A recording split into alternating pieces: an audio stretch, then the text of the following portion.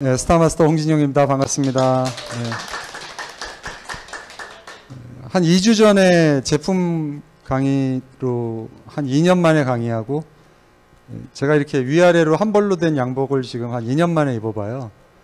네, 이게 이 양복이 이제 그나마 좀 타이트했던 거라 좀 그나마 맞는데 다른 양복은 다 버렸어요.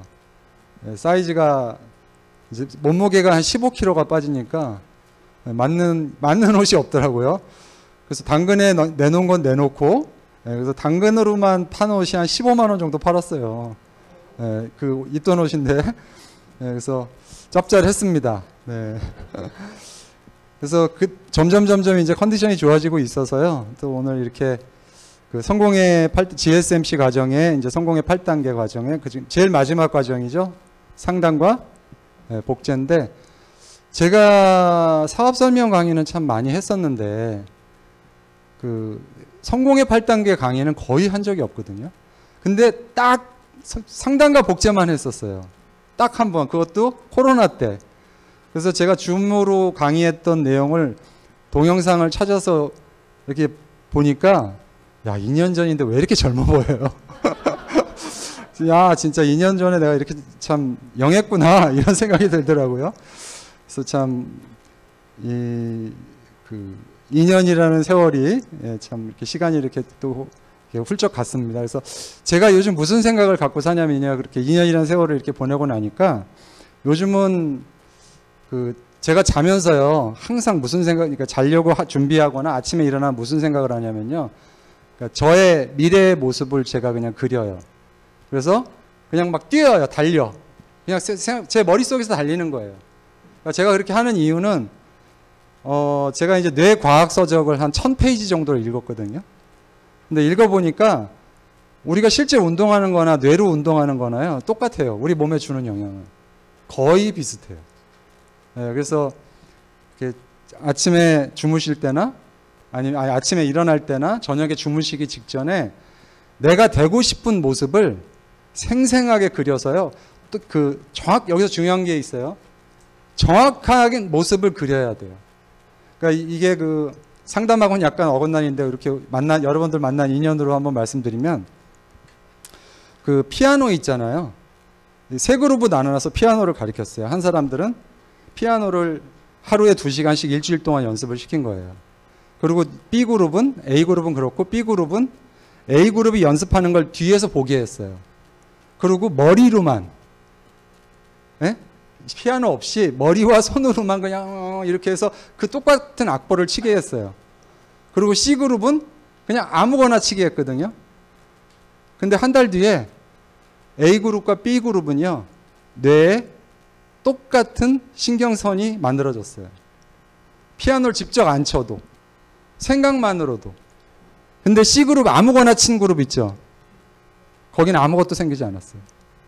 그래서 우리가 상상을 할 때 왜 생생하게 꿈꾸라고 하는지 제가 그 책이 500페이지짜리 한 권하고 450페이지짜리 하고 해서 거의 950 950페이지인데 그걸 다 읽고 나니까 그 옛날에 생생하게 꿈꾸면 이루어진다 뭐 이런 것들이 아, 다 이해가 되더라고요. 네, 그래서 여러분들도 정말 내가 미래에 되고 싶은 모습이 있을 거 아니에요?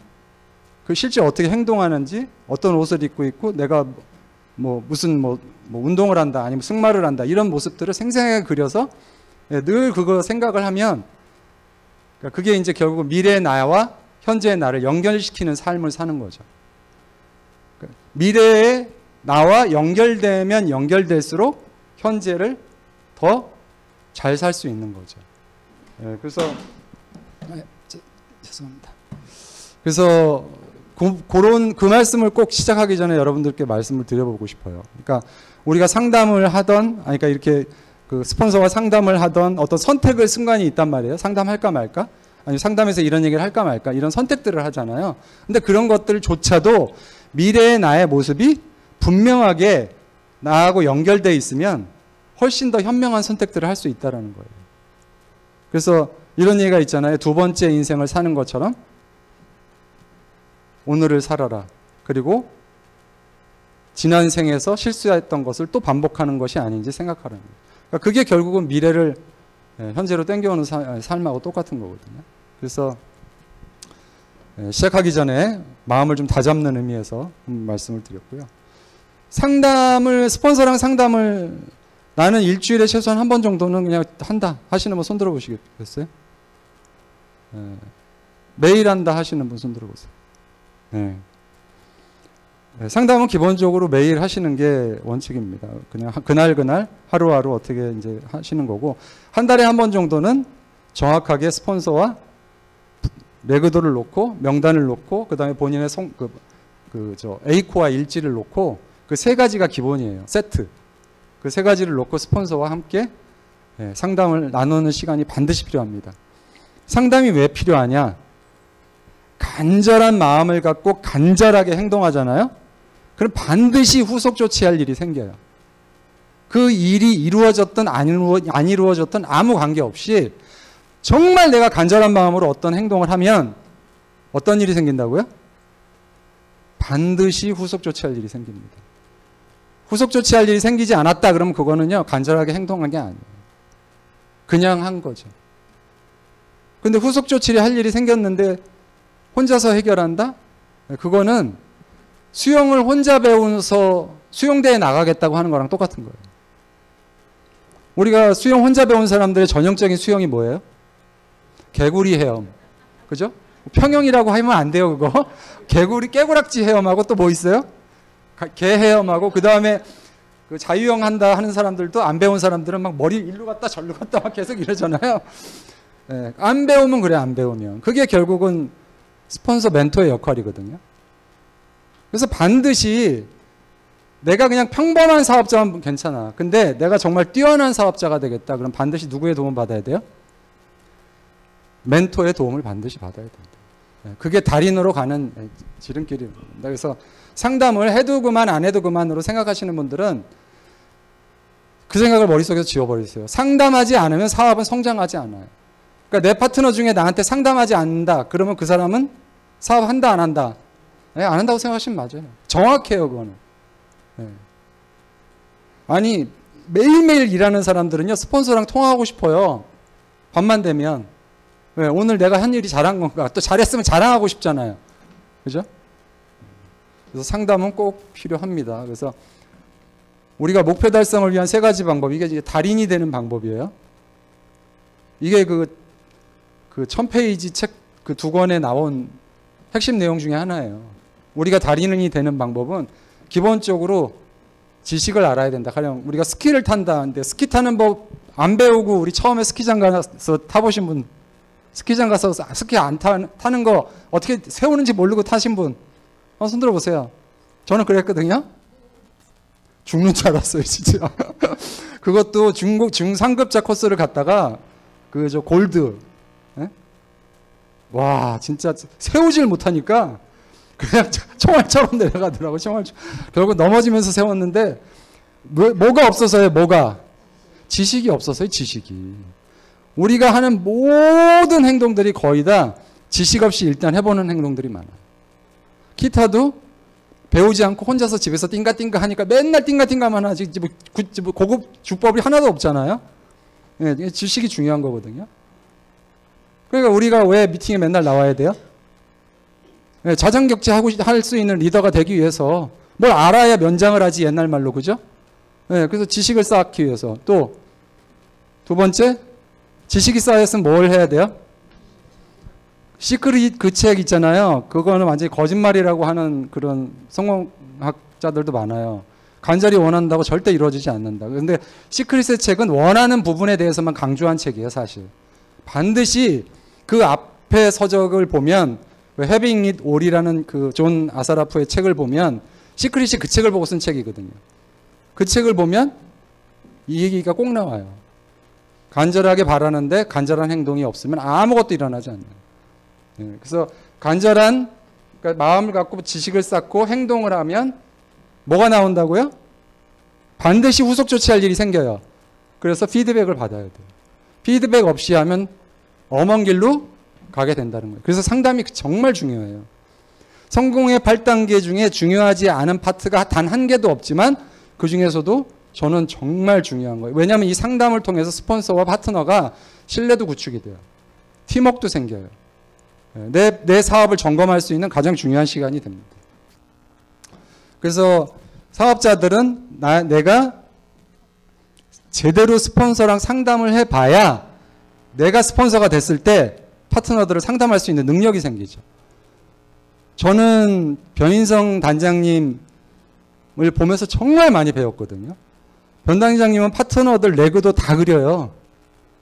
그냥 제 레그도를 쫙쫙쫙쫙쫙쫙 해서 여기 여기 두고 여기 두고 여기 두고 다 그리신다니까. 순식간에 다 그려요. 네. 그러니까 그렇게 하는 게 필요하다라는 걸 누굴 보고 배웠다? 스폰서를 보고 배우는 거예요. 제가 그런 상담을 안 받았으면 그걸 내가 해야 되겠다고 생각을 못 했겠죠? 그래서 내가 그런 그래서 내가 문제 해결 능력이 있는 스폰서로 성장하고 싶으면 반드시 내가 상담을 받아야 된다는 거죠. 네. 이게 상담하는 이유 중에 또 하나가 나오죠. 이게 뭐 백범 김구 선생님이 좋아했던 시라고 그래요. 네, 조선 후기 문신 이양현이라는 사람이 쓴 책이에요. 뭐라고 써? 한번 읽어볼까요? 시작.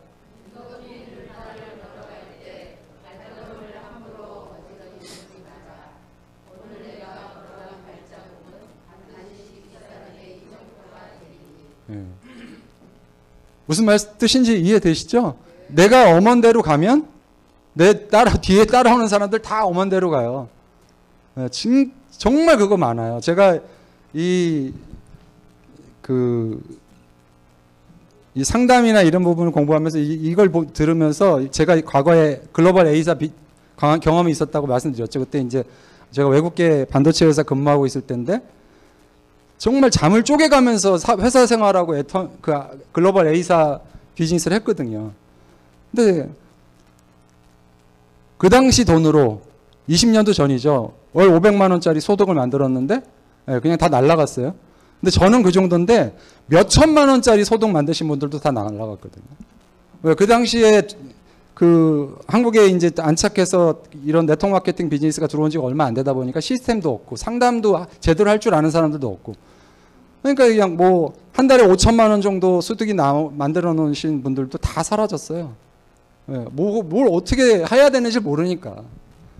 그래서 사실은 우리가 이런 진짜 그, 그긴 세월 동안 시스템을 갖춰서 제대로 된 사, 그 어떤 시스템을 만들어서 상담할 수 있는 어떤 그 능력을 갖게 되고 이런 것들은 그 선배들의 그리고 또 그 길을 걸으셨던 박한계 회장님 같은 그런 또 사업 그 사업자였지만 지금은 이제 또 회사를 운영하신 이런 분들의 어떤 그 노하우나 철학들이 지금은 우리를 이렇게 편안하게 공부 사업을 할 수 있게 만들어 놓은 거죠. 진짜 두려웠어요 그때 이게 맞는 건가? 왜냐하면 내 파트너들한테 일로 가자고 했는데 그게 아니야. 근데 일로 갔다가 또 일로 가야 이리 갔다 저리 갔다 한 세 번만 하잖아요. 다 없어져요 다. 네, 신뢰가 깨져가지고. 네, 진짜 우리는 정말 좋은 환경에서 사업을 하는 겁니다. 상담의 주요 주제 네, 한번 얘기 한번 볼까요? 우리 스폰서님들하고 만나서 이제 상담하다 보면 파트너들이 이런 얘기 합니다. 아, 뭐 누구한테 전달해야지 사람이 없다. 네.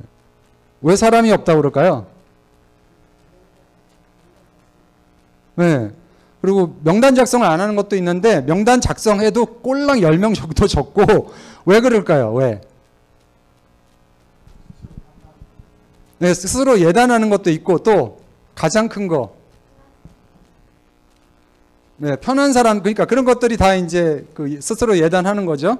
가장 큰 거는 제품 쓸 사람을 적으면 다 적을 수 있는데 사업할 사람을 적, 네, 적으려니까 사람이 없는 거예요. 근데 우리 애터미 성공자들의 성공 스피치를 들어보면 공통점이 있어요. 제품을 써보고 반해서요. 그죠? 거의 열이면 아홉 명이 똑같은 얘기거든요. 그럼 우리가 처음에 사업을 전달해야 돼요? 제품을 전달해야 돼요? 네, 제품 전달하는 게 훨씬 턱이 낮거든요. 네, 그래서 우리는 반드시 파트너한테 왜 명단이 없는지를 내용을 들어봐야 되죠.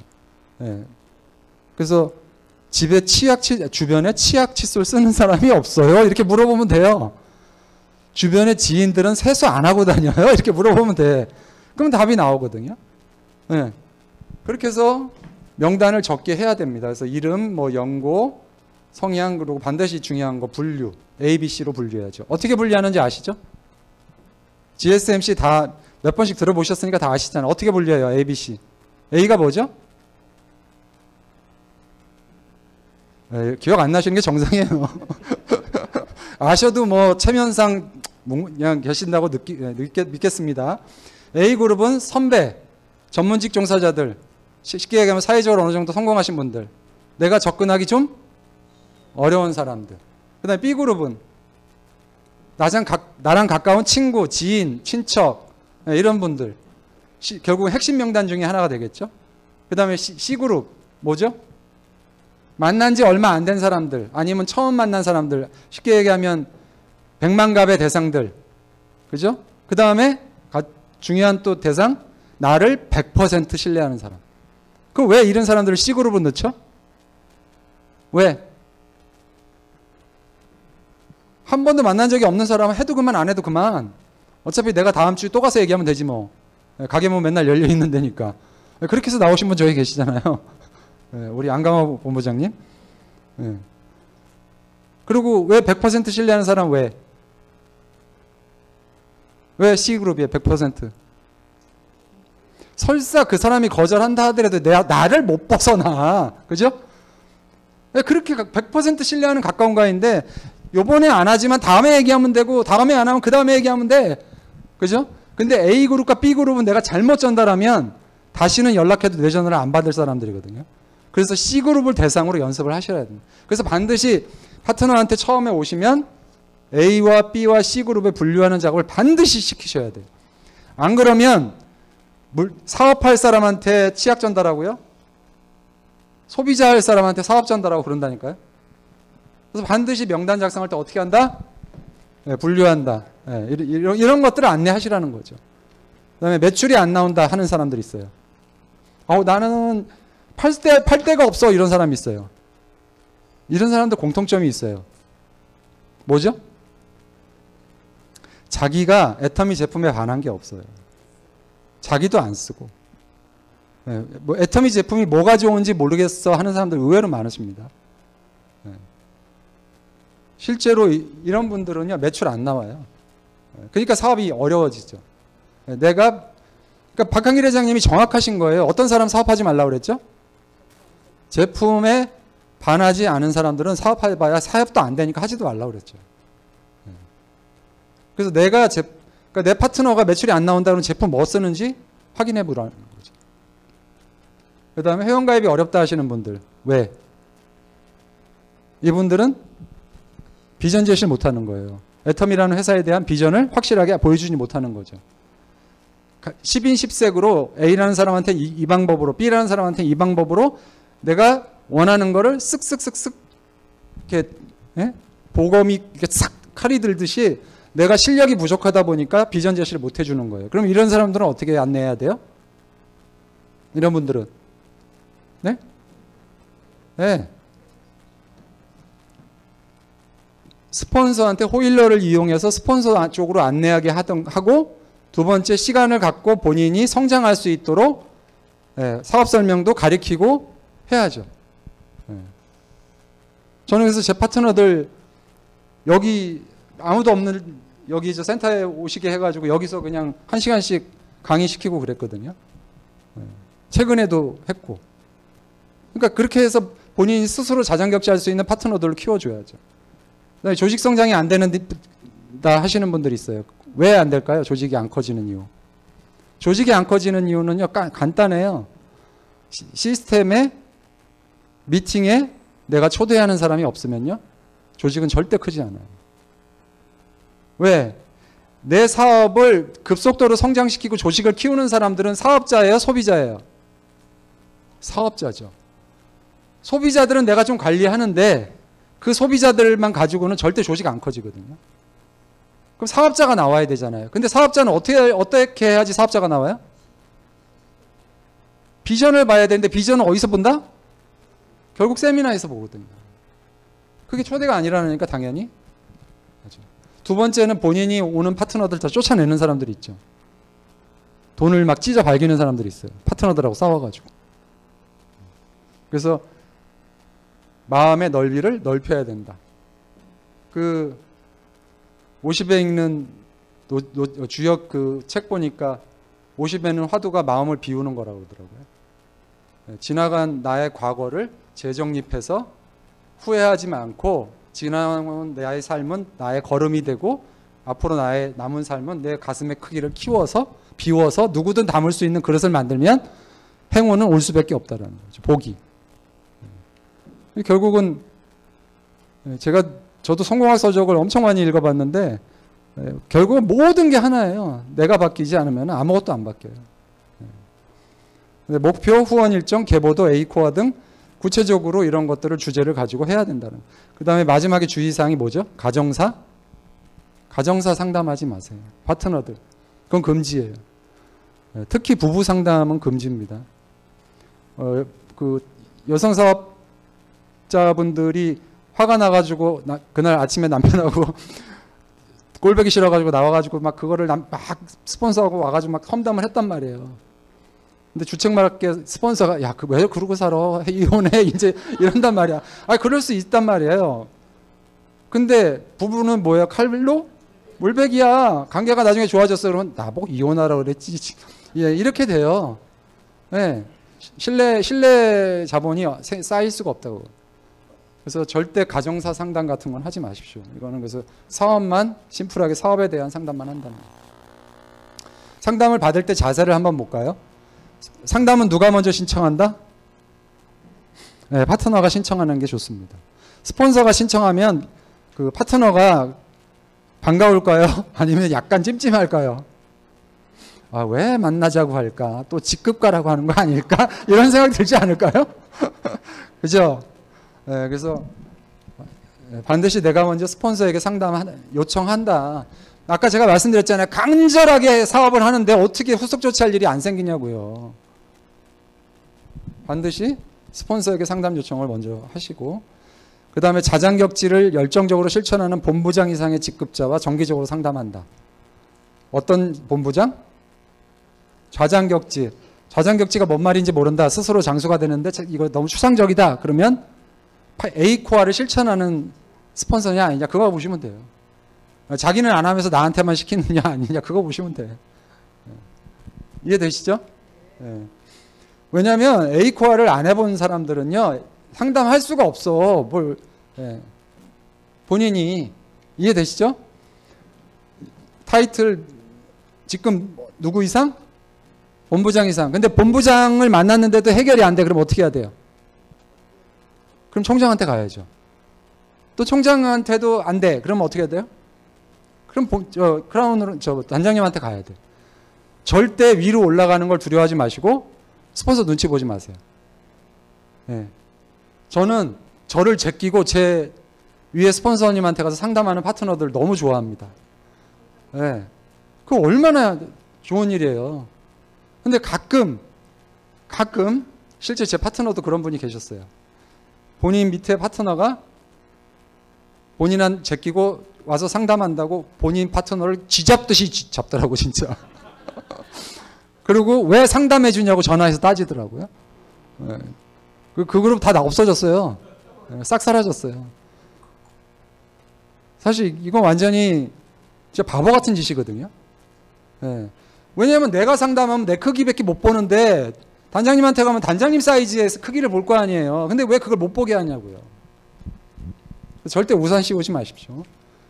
주 1회 간단한 건 주 1회 최소한 한 번씩 하고 월 1회 계보도와 명단을 놓고 사업 전반에 걸친 상담하되 조심할 거 직급 갈 때는요 밤 11시 넘어서 12시 사이에는 전화하지 마세요. 진짜 막 막판에 막 포인트 넣는데 전화 와서 막 그냥 상담하시면요 그냥 등에서 그냥 땀이 줄줄줄 흘려요 진짜. 그러니까 평상시에는 괜찮아. 근데 직급 전체 직급 가는 때가 있어요. 큰 타이틀로. 그때 보통 다른 거 포인트 들어오는 거 다 보고서 넣잖아요. 보통 그래서 10시, 11시부터 넣기 시작하거든요. 그래서 그때는 그럴 땐좀 피해, 주시면 됩니다. 개인 사 생활 배제하고 사업에 이미 말씀드렸죠. 그래서 우산 씌우지 않는 문제 했고 예, 문제 해결 능력이 있는 스폰서로 내가 성장해야 되니까 준비하셔야 되고 그런 스폰서를 만나야 되고 상담해야 되고 그런 스폰서 형제라인과 절대 상담하지 마세요. 제가 그 과거 글로벌 A사에서는요, 스폰, 파, 형제 라인과 밥도 못 먹었어요. 밥도 먹으러 못 다니게 했어요. 형제 라인들하고. 근데 우리 애터미는 너무 신기하더라고. 온갖 형제 라인들이 같이 모여가지고 별거 다 하더라고. 그냥 뭐. 놀러도 다니고. 그거 진짜 별로 좋지 않습니다. 그 사업이 잘 될 때는 괜찮은데요. 안 될 때는 그게 굉장히 안 좋은 영향을 미치고 두 번째 그 형제 라인과 카운셀링을 하잖아요. 그러면 형제 라인이 스폰서 욕을 하면 나도 그 욕을 탁 듣게 돼요. 제가 공부하면서 이생 살고 또 제가 책을 정말 이렇게 계속 읽으면서 느낀 건 뭐냐면 결국은 부정적인 사고를 가진 사람들은요 뭘 해도 안 돼요. 조직을 망치고요 자기 인생을 망치고 주변을 망쳐요. 그래서 항상 밝은 생각으로 항상 밝은 이미지를 가져야 결국 성공할 수 있거든요. 네, 그래서 절대 형제 라인과 상담하지 마세요. 이거는 내 사업도 망치고 현재 라인 사업도 망치는 일입니다. 상담 전에 미리 결정하지 않기. 미리 예단하고 스폰서를 만나는 사람이 있어요. 오늘 스폰서랑 만나서 이거 끝장 볼 거야. 이러시는 분들이 있거든요. 네. 그런 거는 안 하는 게 좋습니다. 네. 그 다음에 A코어 실천 경험이 쌓이면 문제 해결 능력이 상승된다. 스스로 스폰서와 상담하지 않더라도 점점 점점 본인이 해결할 수 있는 능력이 뭐라면 예, 8코어 실천하면 성장할 수밖에 없다. 자, 그 상담을 해주는 자세를 볼까요? 그러면 이게 스폰서의 자세겠죠? 어떻게 해야 된다? 상담 신청자의 현황을 사전에 파악해야 된다. 계보도도 알아야 되고요. 계보도를 모르는데 효과적인 상담 될까요? 안 돼요. 절대 계보도를 그려야 되는데 파트너한테 계보도 갖고 오라고 해서 그거 보고 거기 그때 확인해 가지고는요 상담 안 된다니까요. 반드시 사전에 계보도 확인해야 되고요. 매출 매출이 이 친구가 지난 3개월 동안 매출이 어떻게 나왔는지 좌우 확인해야 되겠죠. 그리고 잘 경청한다. 상담에서 제일 중요한 게 뭐죠? 듣는 거. 말하는 게 아니에요. 듣는 거. 듣는 거, 듣는 거, 듣는 거. 충분히 들어주고 그 다음에 뭐 한다? 질문한다. 이해되시죠? 예. 건성으로 하는 질문 말고 그 파트너를 진심으로 걱정하는 마음에서 예. 오픈된 질문을 해야 되겠죠. 예. 그리고 본인도 판단이 서지 않으면 본인 상위 스폰서에게 상담한다. 아, 내가 잘 모르겠어. 상담하다가 솔직하게 말씀하세요. 나잘 모르겠어. 이건 이거 단장님한테 갑시다. 예. 이렇게 얘기해야 돼요. 예. 그래서 그냥 단장님한테 전화를 하든 아니면 만나서 상담하면 되겠죠. 파트너가 힘이 나고 할 수 있다는 믿음과 신념을 주는 게 중요하다. 상담하면서. 아까 제가 말씀드렸죠? 밝은 기운은 그거 전염이 되거든요. 예. 그러니까 반드시 파트너가 힘이 되고 할 수 있다는 믿음과 신념을 줘야 된다. 항상 좋은 말보다는 때때로 냉정하게 파트너의 사업을 진단해 주기 바란 진단한다. 그냥 뭐 그냥 맨날 좋은 게 좋은 거다, 좋은 게 좋은 거다, 그냥 계속해서 좋은 말만 해주는 것보다는 솔직하게 왜 사업이 안 되는지 얘기해 주는 것도 필요하죠. 왜 솔직하게 스폰서랑 사이, 사이가 안 좋은지 얘기하는 것도 필요해요. 네. 우리가 뭔가 갖춰진 인격, 모든 걸 다 갖춘 인격들이 아니다 보니까 파트너 스폰서 간에 반드시 트러블이 있을 수 있어요. 그러면 그때는 아유 왜 그래 잘 지내봐 이게 아니고 솔직하게 고쳐야 될 부분들이 있는 거는 예, 얘기를 해주는 게 좋다라는 거죠. 이때는 어떻게? 예의 있게. 예의 있게. 솔까 말이 뭘까요? 솔직히 까놓고 말해서, 예. 솔직히 까놓고 말하되 예의 있게. 예. 그냥 무슨 뭐, 뭐 이렇게 반말로 뭐 이렇게 지시하시듯 이런, 이런 건 아니다 이거죠. 예. 방향을 제시하되 강요하지 말고. 이렇게 상담 다 해줬는데 자기는 자기 갈 길 가겠대. 그럼 어떻게 해야 돼요? 두들겨 패어 싸워요?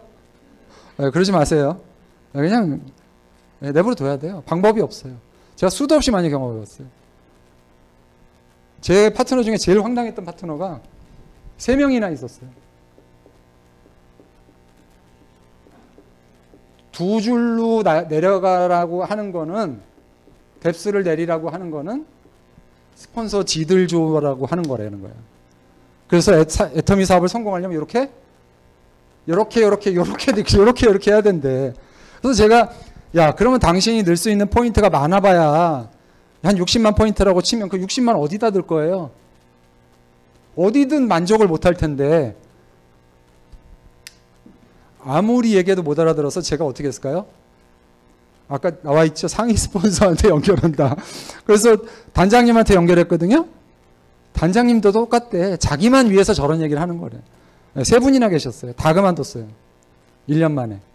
네, 그러니까 정말 답답한 거죠. 네, 그냥 내버려 둬야 돼요. 싸우면 안 돼. 그래야지 소비라도 하지. 네, 싸우면 딴 나라에 딴 데 가서 쓴다니까요. 아시죠? 네. 자, 파트너의 역량과 눈높이 상 이거 이 표 굉장히 중요하거든요. 잘 보세요. 아, 지금 표가 깨졌네. 내 파트너를 내가 봤을 때 오늘 상담할 파트너를 봤을 때 이 파트너는 역량이 굉장히 우수해. 누가 봐도 뛰어난 파트너야. 모든 면에서. 근데 그리고 의욕도 엄청나. 완전 대박이죠. 우리가 이런 사람들을 뭐라고 그래요? 네? 네, 온팽이.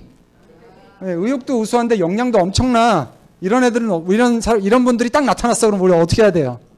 얻고 다녀? 네, 인정만 해주면 돼. 아, 사장님, 아, 진짜 이- 인정만 해주면 돼. 인정만. 박수, 박수, 박수 막 이러면서 너 잘한다, 잘한다. 최고, 최고 이러면서 이러면 이 사람들은 뭐 어, 그냥 날라다니겠지, 날라다녀. 예. 이해되시죠? 이런 사람들한테 뭐 잔소리 할 필요도 없어. 뭐 뭐라고 할 필요도 없어요. 그냥 각 제대로 된 방향으로 갈 수 있도록 방향 지시만 제시만 해주면 되는 거죠. 근데 오늘 딱 만나야 될 사람이 의욕은 엄청나게 좋아. 근데 역량이 없어. 의욕은 뛰어난데 역량이 없어. 우리 저 옛날 제가 삼성에 입사했을 때 그 이건희 회장이 그때 그랬거든요. 우리 삼성에서 제일 저 하지 말아야 될 직원들 예, 능력은 없는데 부지런한 애들 제발 그냥 있어 그냥 일하지 말고 그냥 가만히 있어라 자르지 않을 테니까 그게 조직을 망친다고 그래 이거죠 이거 역량 부족 의욕 넘쳐 그럼 이 사람들한테 역량은 넘치는 역량이 부족해 의욕은 넘치는데 그럼 뭘 안, 안 내야 돼요? 제일 중요한 거 달인이 되는데 첫 번째 과정이 뭐였어요? 지식이었잖아요 난리지 그 다음에 스킬 기술 그 다음에 attitude 이 세 가지를 채워주는 거예요 그러면 이 사람들한테 애터미 지, 지식을 어떻게 채워주고 skill을 어떻게 채워주고 attitude를 어떻게 세울 건지 동영상 60편 보게 하면 끝나요. 그죠? 그럼 동영상 보는 방에 초대해서 거기서 60편 보게 하는 거예요. 그런 식으로 예, 구체적으로 그 파트너에 맞춘 맞춤 상담을 해줘야 된다는 거예요. 역량은 우수해, 역량은 우수해, 의욕이 부족해. 그렇죠? 스폰서 입장에서 보면 저 펜질이 진짜 씨, 하면 잘할 것 같은데 진짜 더럽게 일을 안 해. 이런 케이스가 되겠죠. 그럼 어떻게 해야 돼요, 이 사람들은? 1대1로 멘토링을 해야죠. 너 도대체 왜 그러는 거야? 이유가 뭐야? 어, 꿈이 대부분 꿈이 없 꿈이 없어서 그래요. 애터미를 통해서 내 꿈을 세우질 않았기 때문이거든요. 네, 비전을 못 봤기 때문이거든요. 그럼 이런 사람들 어떻게 비전을 보게 할 건지 상담을 통해서 찾아내야죠. 왜 찾아만 주면 일로 갈 테니까. 네. 그 그릿이라는 엔젤라 데코스 책에 보면 그게 나오잖아요. 사회적 공헌을 할 수 있도록 꿈을 키워주는 애들은 반, 반에서 꼴찌 하는 애들 1등으로 한다고. 그 일을 해줘야 되는 거예요. 1대1 상담. 자, 이제 문제입니다. 의욕도 없고, 역량도 없어. 이런 사람, 근데, 근데 미팅은 나와. 센, 센터에 나와. 예, 이런 분은 어떻게 해야 돼요? 기다려야 돼요? 예, 기다리면 안 돼요. 명확하게 시켜야 돼요. 명확하게. 오늘 명단 여기서 10명 적으세요. 이 10명한테 지금 전화하세요. 그래서 전화해서 약속 정하는 거 다 보세요. 그리고 약속 정해서 이분들한테 샴푸 하나씩 다 팔고 오세요. 이런 식으로 구체적으로 지시를 해야 된다는 거예요. 과업을 줘야 된다는 얘기죠. 그래서 여러분들의 파트너가 어떤 분면에 있는지를 파악을 하면 그분한테 맞는 어드바이스를 할 수 있겠죠. 이해되세요? 이거 회사에서도 쓰는 기법이에요. 내 부하, 내 부서의 직원들이 어떤 분면에 있는지 파악해서 안내하는 거거든요. 똑같아요. 월간 상담 양식 작성 요령 이제 스폰서를 만나게 될 때 반드시 이런 양식을 이걸 똑같이 안 만들어도 돼요. 이런 내용들을 정리해야 된다는 거예요. 첫 번째가 뭐예요? 아까 또 계속 강조하죠. 뭘 들고 만나라? 예, 계보도. 계보도 없이 만나는 상담은 거의 의미 없습니다. 두 번째, 상, 스폰서와의 상담 내용을 구, 적으라는 거예요. 적고 누구랑 상담하는 거 적고 그다음에 목표 설정. 지난 여기에 요번 요번 달 전반기 하반기 목표 매출 이런 직급 목표 이런 거 다 적으라는 거예요. 그 목표를 가지고 스폰서 상담해야 되겠죠. 제품 내용 이해되시죠? 내가 요번 달에 지난달에는 내가 자가 소비로 얼마 했고 전달은 얼마 해서 총 PB 얼마 했다. 내가 하는 거 파트너 하는 거 말고요. 그리고 다음 주 1주에 2주, 3주, 4주 매주 해서 토탈 요번 달에 내가 자가 소비 얼마 하겠다. 우리 어, 얼마 이상 백, 애터미 하라고 그러죠? 100터미 이상 하라고 그러잖아요. 네. 그리고 전달은 어떻게 하겠다. 이 구체적으로 있어야 되겠죠. 세미나에는 어디에 몇 명을 초대하겠다. 그래서 토탈 인원이나. 그래서 이걸 딱 가지고 스폰서랑 상담하고 미리 적어가야 되는 것도 있고 스폰서와의 상담을 통해서 적을 것도 있겠죠. 이해되시죠? 그래서 이런 카테고리를 가지고 상담을 해야 된다는 거예요. 그냥 막연하게 만나면 막연하게 만나면 막연한 얘기밖에 할 게 없어요. 막연한 얘기 뭐가 있어요? 아, 어떻게 이렇게 요즘 에? PB가 안 나와요? 이런 얘기밖에 할 게 없다니까. 그죠? 네. 이해되시죠? 네. 그럼 무엇을 복제해야 되는가가 이제 나와, 나와 있겠죠. 복제의 비전은 뭐냐? 네. 제대로 복제가 안 되면요. 우리가 이 사업 하는 이유가 뭐죠? 왜요? 시스템 소득 만들기 위해서죠. 우리가 부동산 사는 이유랑 똑같은 거예요. 안정적인 시스템 소득을 만들기 위해서 하는 건데 복제가 안 되면 복제가 안 되면 시스템 소득이 돼야 안 돼요? 안 돼요. 절대 안 돼요. 근데 저는 이렇게 사업화 하시는 이렇게 뭐 다른 뭐 이렇게 분들 보다 보면 그런 생각이 들어요. 아니 도대체 이걸 3대를 상속한다 하는 사업이라고 하는데 지금 저게 복제가 될 거라고 생각하나? 라고 생각하게 하시는 분들이 가끔 보이거든요. 3대가 상속해야 돼요. 그럼 어떤 마음으로 해야 돼요? 대실적, 소실적 구분해야 돼요? 해야 돼요? 3대가 상속해야 되는데? 당대에서 끝나버릴 수도 있어요. 아니, 글로벌 A사 같은 경우는 월, 그 당시에 월 5천만 원 이상씩 벌던 사람들 다 없어졌다니까요. 복제가 안 돼가지고. 시스템이 없고, 그러니까. 그래서 그런 마음 자체를 없애야 된다는 거예요. 예, 그래서 복제가 정말 중요하다는 거. 그래야 내가 예, 시스템 소득으로 언제까지 몇 살까지 사실은 노동 소득 가지고 살 거예요. 아프면 끝이에요. 이제 나이 들어서 아프면 노동 소득은 끝이에요. 그럼 그 다음에 시스템 소득 없으면 어떻게 해요? 방법 없는 거지. 요즘 전 세계적으로 뭐 물가가 폭등을 해서 영국 보셨어요? 와, 영국이 물가가 어마어마하게 올랐어요. 어마어마하게. 뭐 조만간 IMF로 들어갈 수도 있다라는 얘기까지 나올 정도예요. 네, 그래가지고 나이 든 사람들이나 학생들이나 마트에 가서 뭘 못 사요. 사지를 못해. 그래서 밥 대신 먹는 게 그냥 과자 같은 거 먹더라고요. 하도 비싸니까 밥값이. 거기 핫도그 하나가 얼마인 줄 아세요? 한국식 핫도그? 만 몇천 원이에요. 핫도그 하나가.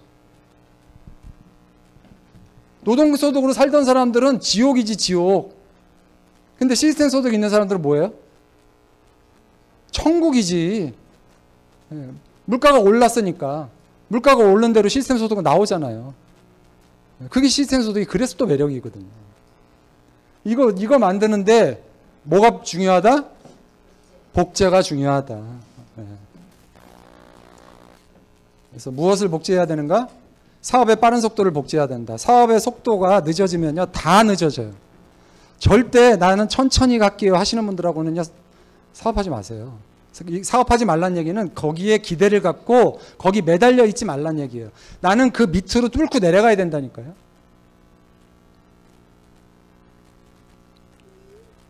그 GSMC 책에 그 부분이 정확히 나와 있더라고요. 250명을 한 달에 다 전달할 거냐, 세 달에 전달할 거냐, 그 차이는 단순히 전달의 속도가 문제가 아니고 사건의 발생 빈도를 압축시켜서 어마어마한 사건이 일어나게 만든다는 거예요. 그게 압축의 힘이라는 거예요. 사건의 압축, 사건의 빈도를 압축시키면 뭐가 일어난다? 어마어마한 사건이 일어난다. 소, 사업의 빠른 속도를 빨리 하는 걸 복제해야 돼요. 나는 소비자 모아서 auto로 갈게요 하시는 분들을 예, 그런 얘기 하면 돼요 안 돼요? 안 돼요? 예, 안 됩니다. 성공의 8단계 순서대로 auto 판매사 방향으로 이거 중요한 얘기죠. 이걸 복제해야 된다는 얘기예요. 성공의 8단계 순서대로 사업하고 auto 판매사 방향으로 가라. 이 auto 판매사 방향으로 가라는 얘기는 뒷장에서 말씀드릴게요. 그 다음에 소통, 항상 상담해라. 팀장급 이상 파트너, 저, 리더분들은 반드시 파트너들과 계속해서 소통해. 소통, 소통, 소통. 소통이 안 되는 조직은 결국 썩어서 없어져요. 조직이 썩는다니까요. 계속 소통해야 돼. 목숨 걸어야 돼요, 소통에. 이거는 뭐, 회, 글로벌도 다 마찬가지. 글로벌 회사들도 어느 조직이나 집안이 만약 부모 자식 간에 소통 안 되면 어떻게 돼요? 문제 생기겠죠? 그죠? 네, 문제 생깁니다. 근데 하물며 이것은 우리 성인들끼리 만나서 하는 사업인데 소통이 안 되는데 어떻게 사업이 돼? 반드시 소통에 소통하는 걸 예, 상당 그 복제를 해야 되고요. 목표 60만 PB. 예, 우리 저 변단산 변인선 단장님 산하는 매 차수 60만 PB 복제죠. 예. 어, 설마 60만 PB도 안 하시는 분들 계시나요? 60만 PB는 진짜 기본이 기본. 아니, 내가 60만 PB는 해야 내 파트너들 최소한 한 두세 번은 맞춰줄 거 아니에요. 그것도 안 하고서 어떻게 사업이 성장하냐고. 그리고 이거 60만 PB를 내가 복제하는 거랑 안 하는 거는요, 사업 속도에서 엄청나게 차이나요. 그것도 뒷장에서 말씀드릴게요. A코어 행동 실천 습관 만들기. 네, 이건 뭐 당연한 거고. 네. 그 다음에 성공문화 복제. 성공문화 복제가 뭘까요? 두 줄 다 내 사업이다. 네. 소실적만 내 사업이 다. 아니고, 두 줄 다 내 사업이다. 제가 조금 이제 컨디션이 좋아져 가지고, 최근에 그 해외 파트너들 미팅을 하는데 가끔 뜬금없이 놀라운 질문을 하거나 놀라운 소식을 듣는 경우가 있어요. 내가 열심히 하는 게 스폰서한테 도움이 되는 게 싫다는 거야. 네, 그러니까 시스템을 모르시는 거죠. 시스템을 모르는 거예요. 그러니까 보상 플랜을 제대로 알면 저걸 얘기할 저렇게 생각할 수가 없거든요. 네. 그냥 무조건 두 줄 다 나로부터 시작해서 그냥 나 기준으로 내가 두 줄 다 하면 되는 사업인데 자꾸 복잡하게 생각해요. 네. 내가 내가 잘 되면 스폰서가 잘 되겠지. 아이 싫은데 이거는 win-win이 아니고 뭐예요? 네, lose lose 프로젝트 lose lose 네. 두줄 다 내 사업이다. 이거 진짜 이거 진, 이건 정말 정말 중요해요. 저 여태까지 사업하는 동안 왼쪽 오른쪽 한 번도 안 빼놓고 항상 내렸어요. 포인트를. 사람도 저는 양쪽 다 달았고 그러니까 이게 그래야 결국은 나, 나, 내가 컨트롤할 수 있는 팀이 만들어지는 거거든요. 이건 뭐예요? 내돈 내산은? 식사할 때 내 돈 내고 내가 먹자는 거예요. 내 돈 내산. 요즘 밥값이 많이 비싸졌어요. 그죠? 우리 저 스폰서님들 만나서 밥 먹으러 가서 10명이 가면 한번 파트너들하고 밥 먹으러 가, 기가 싫어지죠, 점점. 그렇게 되면. 그래서 저는 과거에 이제 A사, 글로벌 A사 비즈니스 할 때 제가 직장 다니면서 부업을 4년 정도 했거든요. 그래서 월 500 소득을 만들었단 말이에요. 근데 단 한 번도 스폰서가 저한테 밥싼 적이 없어요. 거기는 그냥, 그냥, 그냥 그게 그냥 불문율이에요, 불문율. 스폰서가 절대 밥값 안 내요. 네, 어떤 밥값도 안 내요. 근데 가끔 이랬어요. 1년에 한 번 정도? 내가 밥 살게. 그러면, 그럴 경우를 제외하고는 그게 정해지지 않은 밥자리는 무조건 다 각자 내. 왜? 왜요? 다 자영업자들이잖아요. 다 애터미가 취미 생활로 오신 분은 아니잖아. 성공하기 위해서 왔잖아요. 각자 자기 뭐, 자기 밥값은 자기가 낼 수 있는 정도의 마인드는 있어야 된다는 거죠. 그래서 이거를, 이것도 문화로서 정착시켜야 돼요. 아셨죠? 네. 태도가 모든 것이다. 배운 대로 하는 태도. 네. 이것도 복제해야 되죠. 배운 거 따로 하는 거 따로 안 되죠. 있어야 할 곳에 있는 태도. 이게 뭐죠? 네, 여러분들처럼 금요일 이 황금 시간에 이 황금 같은 시간에 그죠? 멀리 의정부에서도 오시고 제일 멀리 오셨다, 멀리서 오신 분 어느 분이세요? 여기 한분 의정부, 안산에서, 예. 동대문 의정부에 비하면, 예. 있어야 할 곳에 있는 태도.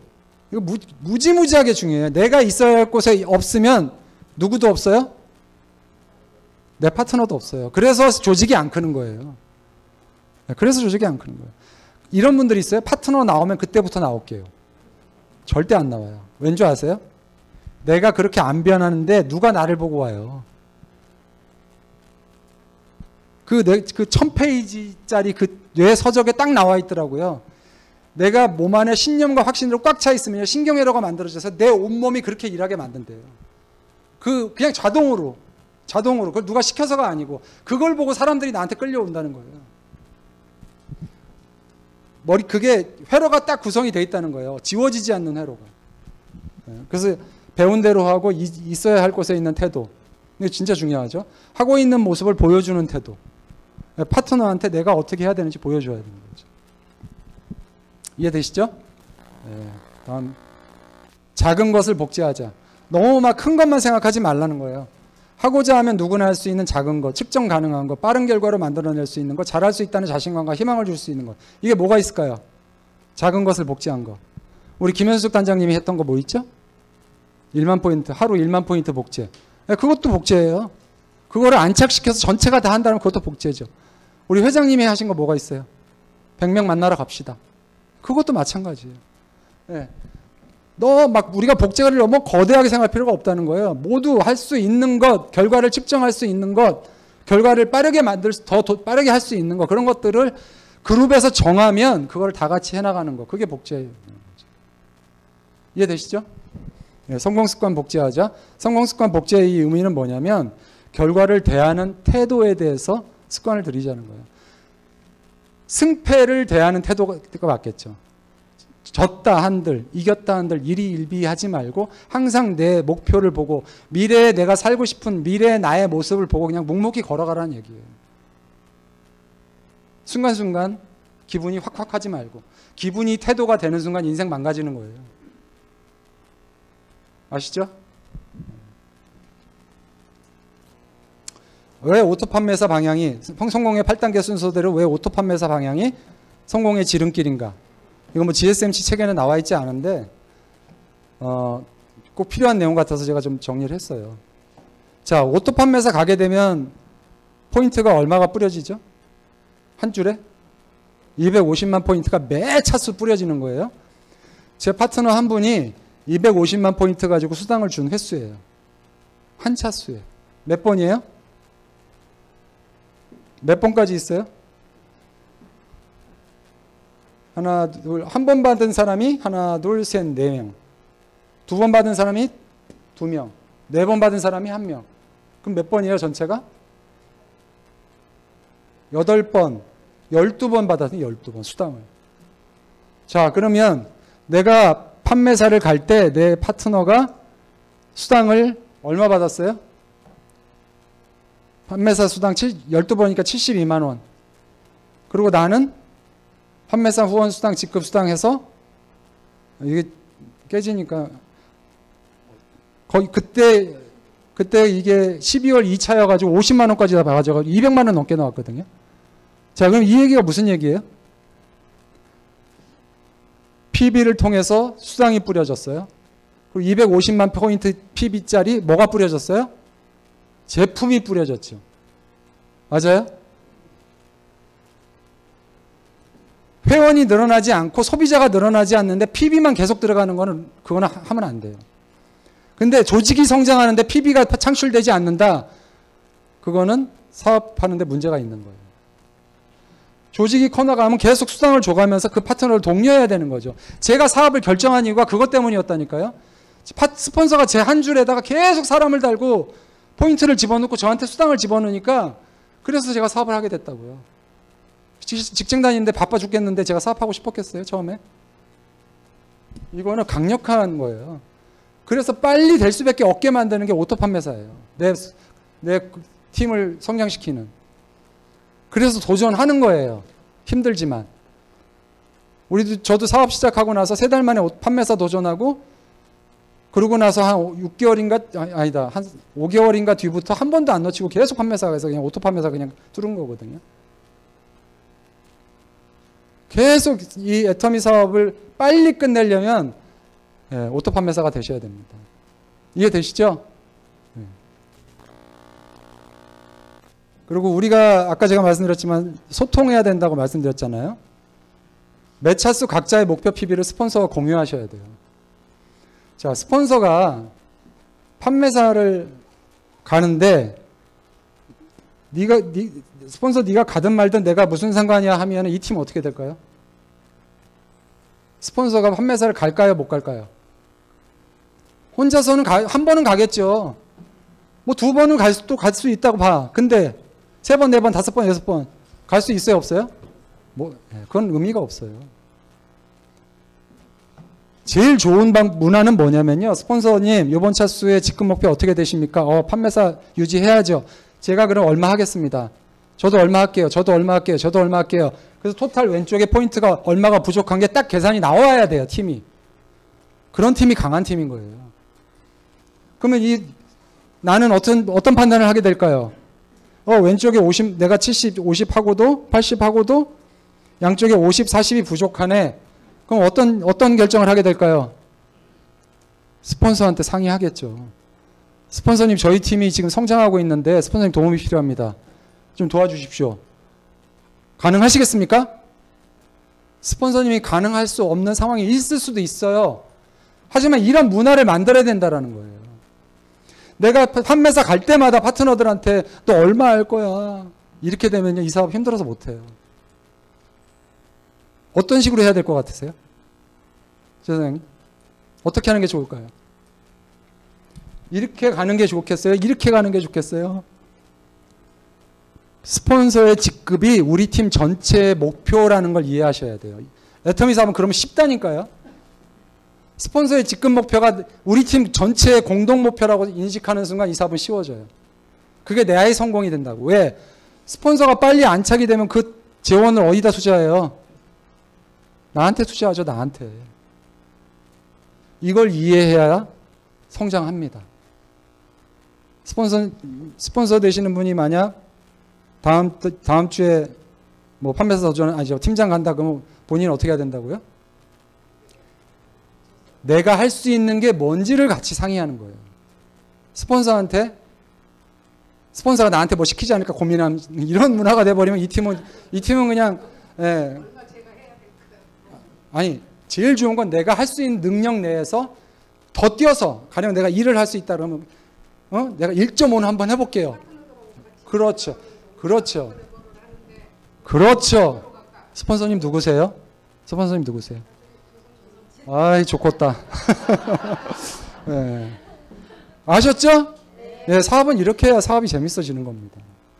네. 이게 이게 복제가 되면요 애터미 사업 엄청 쉬워져요. 그럼 마찬가지로 그 위에 상위 스폰서 마찬가지. 아 요번에 가니까 내가 좀 도와주고 그럼 나를 보니까 내가 내 왼쪽 상황도 이렇게 되니까 경영이 가능해진다고요. 경영이. 어떻게 운영해야 된다는 플랜을 세울 수가 있는데 이게 없이 아유 파트너들 야야 이번에 이번에 직급 가야 되잖아. 너 이번에 얼마 할 거야. 이 거꾸로 가면요 이 사업은 진짜 지옥이 돼요. 지옥이 돼요. 아셨죠? 네. 그리고 이제 속도를 내는 방법인데 자가소비 복제 모델로 0에서 30만 포인트 쓰는 파트너들 모아서 하는 사업이라고 해서 사업을 하면 사업이 엄청 오래 걸려요. 엄청 오래 걸려요. 네, 하다가 중간에 다 떠나요. 그래서 사업자를 우리가 해야 될 건 소비자 모델이 아니고 뭘 해요? 사업자를 복제해야 돼요. 물론 이 사업자들이 100% 마트 change 하면 자가 소비 한 2, 30만 포인트 하겠죠? 그리고 여섯, 다섯에서 여섯 명 정도의 소비자를 관리하는 거예요. 5만 포인트에서 10만 포인트 쓸 사람. 그럼 한 사람이 얼마씩 쓰는 거예요? 60만 포인트씩 해. 그러면 딸랑 한 명, 두 명, 세 명만 나와도 어떻게 돼요? 60만, 60만, 60만, 60만 하면 여기가 어떻게 돼? 180만. 그죠? 내가 60만 하면 이렇게 합치면 어떻게 돼요? 내 거 내려야 되잖아요, 밑으로. 240만 한쪽 끝났죠? 이쪽은 위에서 스폰서가 내려주면 끝나죠? 스폰서 60도 어디 넣어야 될 거 아니에요. 그죠? 예, 그럼 auto 판매사네? 얼마나 빨라요? 물론 이 사람들이 60만 원 혼자 다 하는 거예요? 이 사람들이 관리하는 소비자들이 있잖아요. 소비자들을 관리하면서 100만 갑 하면 이거 뭐 얼마든지 가능할 거 하잖아요. 100만 갑을 하면. 네, 그래서 60만 포인트를 창출할 수 있는 사업자 모델로 우리는 사업을 복제해 나가야 된다는 거예요. 이해되시죠? 나는 때려 죽여도 60만 못 튀어? 네, 상관없어요. 내가 할 수 있는 한 최선을 다해서 하시면 돼요. 우리의 목표는 이거라는 거예요. 오늘 못해도 1년 뒤에 할 수 있으면 된다니까요. 네, 이건 시간이 많이 가서 지나갈게요. 네, 복제의 원리 이것도 네, 지나가겠습니다. 성공적인 복제란 뭘까요? 항아리가 있어. 근데 여기 보니까 깨져 있네. 여기 물을 부으면 채워져요, 안 채워져요? 이거 채우려면 어떻게 해야 돼요?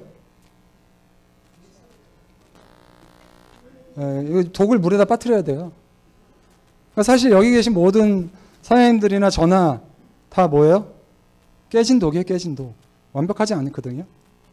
인간인 이상 완벽하지가 않아. 근데 좀 더 애터미화 되는 애터미 성공자가 되기 위해서 이런 시스템에 플러그인 돼서 한단 말이에요. 근데 왔다 안 왔다 왔다 안 왔다 오늘은 비가 오네. 오늘은 눈이 오네. 내 마음 나도 몰라. 왔다 이러, 이렇게 하면 복제가 돼야 안 돼요? 안 되죠. 그냥 풍덩 빠져야 된다니까 풍덩. 이게 복제예요. 이게 성공적인 복제라는 게 딴 게 없어요. 그냥 시스템에 full, full로 그냥 플러그인 되는 거죠. 스폰서가 스폰서가 있든 없든 그게 뭔 상관이에요. 내 사업인데. 그죠? 네, 그래서 항상 네, 미래의 나를 그리면서 매일 1% 저는 이 생각 갖고 살아요 요즘. 제가 건강이 안 좋아 건강이 어려 힘들어지니까 제가 딱 수술 끝나고 나서 그날부터 걷기 시작했거든요. 수술 끝나고 태어난 날부터 배, 아픈 배를 붙잡고 그 첫날은 아마 백, 몇백 번도 못 걸었을 거죠. 그 다리 수술하고는 또 이거 하고 하면서 이 생각으로 그냥 살았어요. 오늘 하루 1% 어제보다 1%만 더 건강해지자. 어제보다 1%씩만 매일 건강해져 보자. 1년이면 32, 7배가 건강해지는 거거든요. 이게 영국의 사이클 팀 감독이에요. 2007년부터 2014년까지인가 그, 그 사이클 감독한 사람인데 영국 사이클 팀이 얼마나 후진 팀이었냐면요. 제가 인도네시아 강의하느라고 영어로 써놔가지고 여기 보면 이제 영국 사이클링 팀이 1%씩 매일 개선해서 일어난 기적이에요. 그러니까 영국 사이클 팀이 자전거를 사러 가잖아요. 안 팔아. 너희가 우리 자전거 타면 우리 거 안 팔려. 그 정도였어요. 진짜로. 우리가 옛날에 양궁 사러 갔을 때 안 팔았잖아요. 미국에서. 한국 애들이 너 우리 거 쓰면 우리 양궁 안 팔린다고. 영국 사이클 팀이 그랬다니까요. 근데 이 사람이 감독으로 들어서서 불과 5년 만에 어떤 일이 일어난 줄 아세요? 이 사람이 바꾼 게 뭐냐면 사이클의 안장 디자인도 바꿔보고 선수들 옷 천도 천을 좀 바, 바꿔보고 애들 감기 걸리지 않게 손을 씻는 방법까지 의사들 불러다 가르쳐 보고 매일 1%씩 바꿔본 거예요. 매일. 이 불과 5년 만에 베이징 올림픽에서 100년 만에 사이클에서 100년 만에 금메달 땄어요. 100년 만에. 어마어마하죠? 그리고 이 이후로 10년 동안 딴 메달 수가 올림픽에서 168개. 이게 1% 매일 1%씩만 선장한다는 목표를 세워보세요. 저는 매일 그 생각하면서 아침에 일어나서 운동한다니까요. 근데 어제보다 1%만 건강해지자. 미래와 연결되어 있으면요. 현재의 선택이 훨씬 더 미래에 내가 삶, 살고자 하는 삶이 있기 때문에 함부로 선택 안 하게 된다. 네, 그래서 1%씩 성장하면 37배 1년 되면 성장합니다. 그래서 우리가 노력하다 보면은요, 결과가 안 나오는 구간이 항상 있어요. 이건 전, 이 세상 모든 일이 마찬가지예요. 이거, 기적의 씨앗이 숨겨지는 순간 또는 데스밸리라고 그래 죽음의 계곡 이 기적의 씨앗이 숨겨지는 순간을 참고 이겨낸 사람들이 결국은 예, 결과 예, 승리의 기쁨을 맛보는 거죠. 여러분들도 한번 매일 1%씩 어떤 걸 도전할 건지 목표를 한번 세워보시고 한번 실천해 보시기 바랍니다. 그래서 다시 한번 강조드립니다. 우리는요, 사실 우리가 삶을 사는 거는 뇌과학적으로 보면 우리가 우리를 작동시키는 모든 뇌회로 신경세포망은 과거에 만들어진 거예요, 지금 만든 거예요. 과거에 만들어진 거예요. 과거의 나의 습관으로 인해서, 부모의 유전자로 인해서 네, 이렇게 만들어지는 거거든요. 그 과거에 만들어진 나의 신경세, 신경망으로 뇌신경망으로 어떻게 해요? 현재를 살고 미래까지 사는 거예요. 왜 과거의 나를가 내 미래 삶까지 좌지우지하냐고요. 적어도 현재의 나는 미래의 나에 의해서 결정이 돼야 되는 거잖아요. 만약 여러분들이 30년 뒤에 아니 전에 과거로 갔어. 그래서 자녀분을 만났어. 아드님을 만났어요. 30년 전에 아드님. 그 30년 전에 아드 그 아드님이 내 속을 썩여온 모습을 30년 전으로 돌아가서 지금 나의 모습을 보면 무슨 생각이 들까요? 그때처럼 속 썩일 때 속이 상할까요? 전혀 안 상할걸요? 왜? 30년 뒤면 어떤지 내가 다 봤잖아요. 미래에 연결된다는 게 그런 의미예요. 만약 미래에 나와 연결된 희망이 없으면 현재에 무슨 삶의 의미가 있겠어요?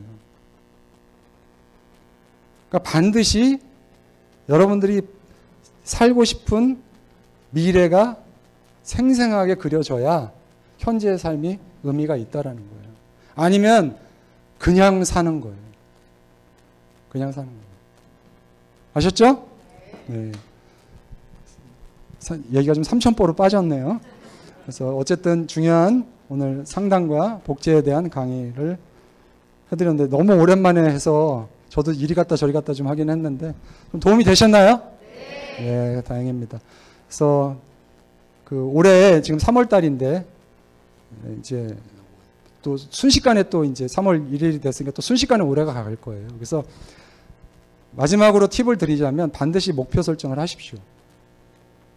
세 가지 정도 내 인생에서 가장 중요한 우선순위를 정해서 애터미를 포함해서 세 가지 카테고리 내를 정해놓고 그 카테고리 내에서 반드시 이루어질 일들을 정해서 매일 실천하세요. 네, 매일 실천하세요. 그러면 반드시 이루, 이루어집니다. 네. 모든 성공은 내가 아는 것을 매일 실천하면 무조건 이루어집니다. 안 하기 때문에 안 이루는 거예요. 아셨죠? 네, 감사합니다.